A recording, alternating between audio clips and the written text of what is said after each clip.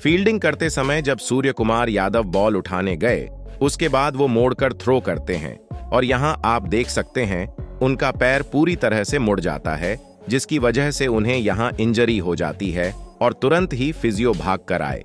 सूर्य कुमार यादव को देखने के लिए आप यहाँ देख सकते हैं। सूर्य कुमार यादव काफ़ी ज़्यादा दर्द में दिखाई दे रहे हैं, क्योंकि जिस तरह से उनका पैर मोड़ा है, वो काफ़ी ज़्यादा खतरनाक इंजरी हो सकती है। फिजियो उनका काफ़ी ख्याल रख रहे हैं, लेकिन उनके चेहरे से देखकर लग रहा है कि वो बहुत ज़्यादा तकलीफ़ में हैं। अब ये देखना है कि ये काफ़ी बड़ी इंजरी ना हो